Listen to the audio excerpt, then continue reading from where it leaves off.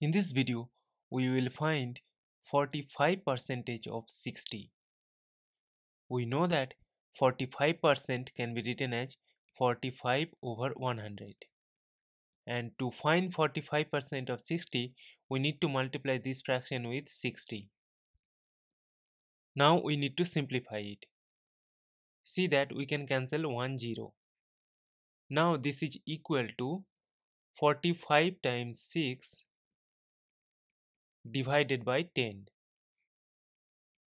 Now if we multiply the numerator then we get 270 and we have 10 in the denominator. So when we divide it by 10 we get 27. Therefore 45% of 60 is equal to 27 and this is our final answer. Thanks for watching. Please like, share and comment on the video. Also do subscribe the channel.